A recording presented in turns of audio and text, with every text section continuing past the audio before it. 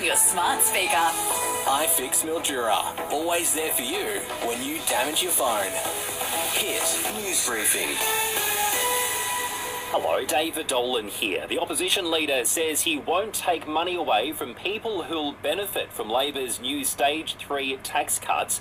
Peter Dutton is yet to formally declare his position on the plan, but says it doesn't address bracket creep, which will leave millions of people worse off. Teachers have been told not to use the words good and bad to describe food under an overhaul of health lessons. They're getting a shake up in a bid to prevent eating disorders among young people, with references to BMI, calories, and diet also gone. Dr. Zali Jaeger from Victoria University says it can be really harmful to kids' health. We've used healthy so much over the past 10 to 20 years, it's sort of starting to become challenging to understand, for students to understand what that really means. I remember a pro-Palestine protest outside the Sydney Opera House back in October where it was thought an offensive anti-Semitic phrase was chanted. Well, the results are in from a forensic review of audio and video clips from that night.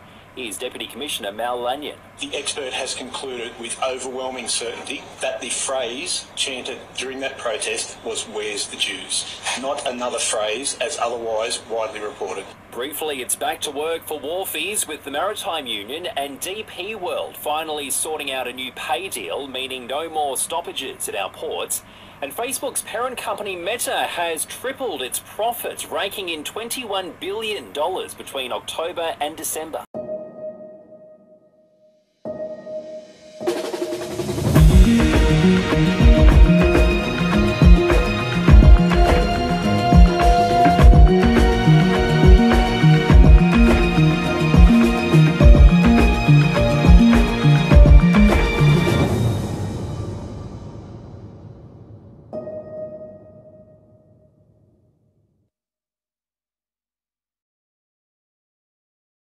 It's been a dream debut at the MCG for bowler Xavier Bartlett in the one-dayer between Australia and the West Indies. The 25-year-old bagging three wickets, leaving the visitors seven for 221 a short time ago.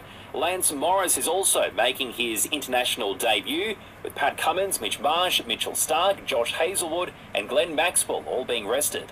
And the Socceroos play South Korea early tomorrow morning our time in Doha, chasing a spot in the Asian Cup Final Four.